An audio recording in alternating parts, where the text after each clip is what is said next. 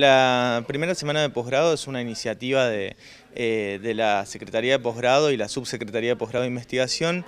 Eh, la idea era poner en valor eh, toda la labor que realizan nuestros docentes e investigadores en el sostenimiento de de las diferentes carreras de posgrado que tiene, que tiene la facultad.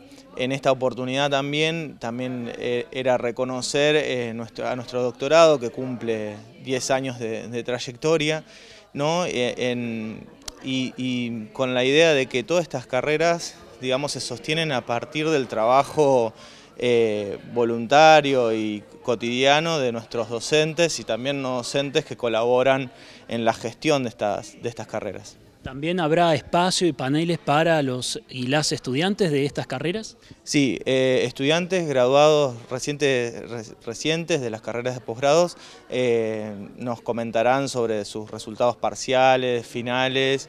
Eh, la idea es generar espacios de, de intercambio que también entre quienes, bueno, cursaron o cursan diferentes carreras puedan compartir sus experiencias, que en general son experiencias comunes de eh, transitar por eh, una carrera de posgrado.